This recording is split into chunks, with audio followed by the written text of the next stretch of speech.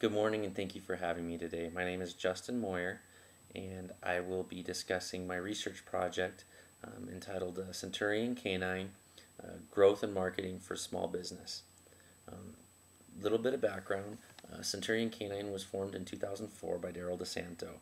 Uh, he is a multi year law enforcement uh, professional where uh, he spent most of his time with canine units, um, supervising SWAT teams and uh, being a uh, both a SWAT and canine commander during his uh, um, 20 year stint as a law enforcement officer in Southern California. Um, upon retirement, he decided to go into business for himself and started Centurion Canine Consulting.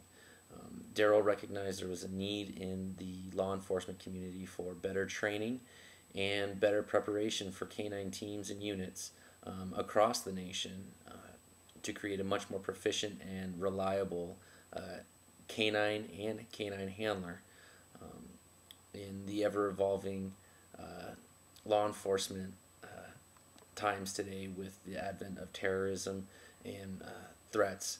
Uh, the canine is becoming more and more um, widely used and accepted as a formidable tool against um, criminals and uh, terrorists alike. Um,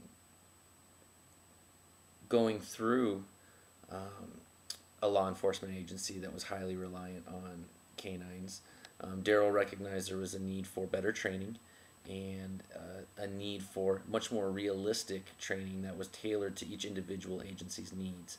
Um, and this was the niche that he built his company on. Um, currently, most law enforcement agencies travel outside of their agency in order to um, get the training that they need to uh, make sure that their handlers and their canines are up to speed on everything uh, that they need to.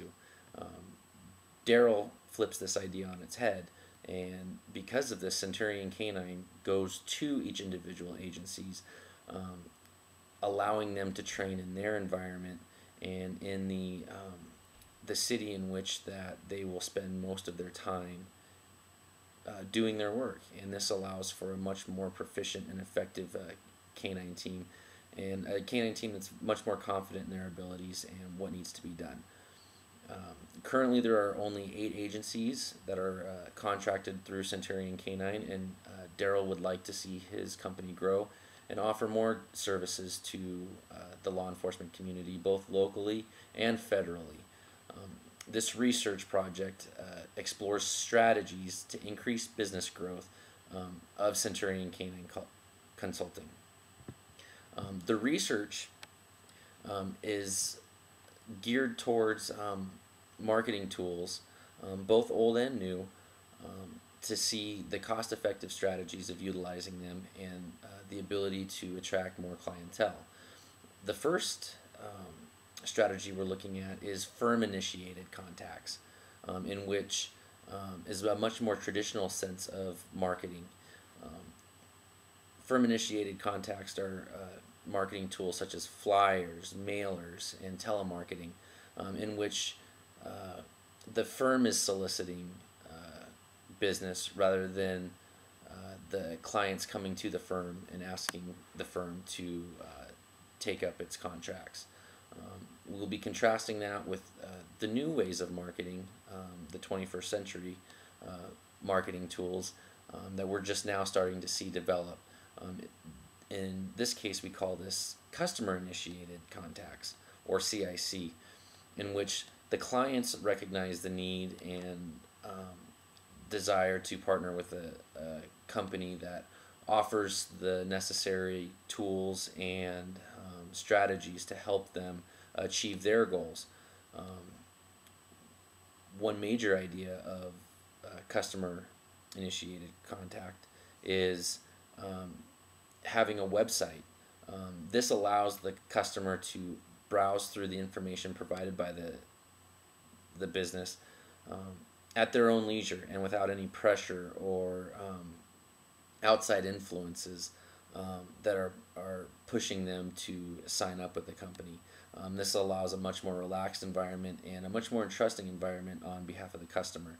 Um, in the 21st century, we're seeing uh, businesses with presences on Facebook and Twitter and Pinterest um, in order to uh, get their name out there into the marketplace and attract clients to come to them in order to uh, utilize what their business offers. Um, the second thing we look at is professional relationships.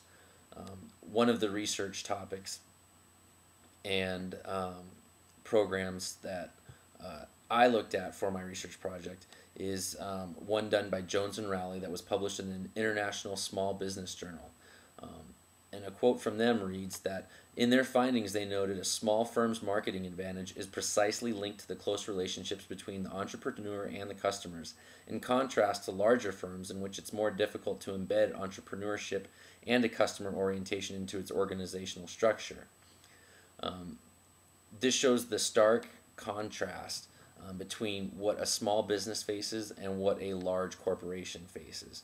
A large corporation is going to see um, a benefit in having commercials and billboards um, and other mass media marketing opportunities.